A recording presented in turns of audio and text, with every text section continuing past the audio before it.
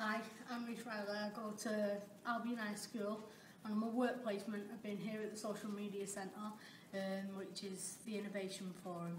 Um, the project I've been doing is um, People's Voice Media and uh, there's a lot of things I've liked about it. Um, I've liked working on the Macs because it's a new experience for me and um, it's been good making films and um, making like documentary and that, saying like um, what people's voice media is and, and it's been fun like editing it um, going on GarageBand to create songs and stuff for it um, it's been real good the thing that I didn't like was when I had to go to St Sebastian's um, community centre because the walk took ages and I just wanted to lift home thank you My name's Aaron. I go to the Albion High School and I'm here at People's Voice Media and the Innovation Centre.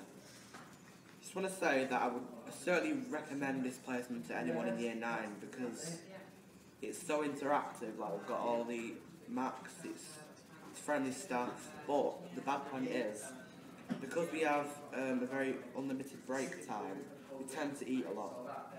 And this sort of place you can buy things outside and it's really bad, it's right on our doorstep. So that is one bad thing, but it's got nothing to do with the organisation. It's Rosen. I come from the Albion High School, and this is the Innovation Forum. In this is the People's Voice Media in the Innovation Forum.